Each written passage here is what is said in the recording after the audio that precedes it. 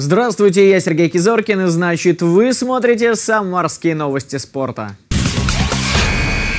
Кубок Европы у самарской дзюдоистки. Легкоатлеты Самары вторые на всероссийских соревнованиях.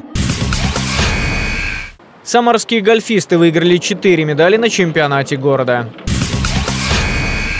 Самарские гольфисты на открытом чемпионате города собрали целую коллекцию медалей – золото, два серебра и бронзу. На 18-луночном мини-поле международного стандарта за награды мячи катали 36 спортсменов в двух возрастных категориях из разных городов губернии. В четырех раундах удачи, кроме хозяев, поле улыбнулась еще и тольяттинцам. В итоге почти весь пьедестал почета заняли молодые гольфисты. Третье место только у Александра Смолина.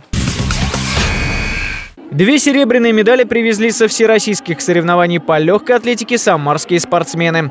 В подмосковном Ерино в беге на 800 метров Андрей Белоконь финишировал вторым, проиграв чемпиону всего лишь 3 тысячные секунды. В прыжках в высоту рекордсмен России среди юниоров Даниил Лысенко завоевал серебро с результатом 2 метра 30 сантиметров, проиграв только олимпийскому чемпиону Ивану Ухову. Кубок Европы под дзюдо в категории до 63 килограммов выиграла Диана Джигарас. В Словении спортсменка провела 4 встречи, в каждой одержала безоговорочную победу. В финале Джигарас встретилась с давней соперницей Камилой Бадуровой, и на этот раз Диана менее чем за минуту положила москвичку на обе лопатки. Это уже не первый международный успех самарской дзюдоистки. В прошлом году в Израиле она завоевала бронзовую медаль Еврокубка. Впереди главный старт сезона – молодежное первенство Европы.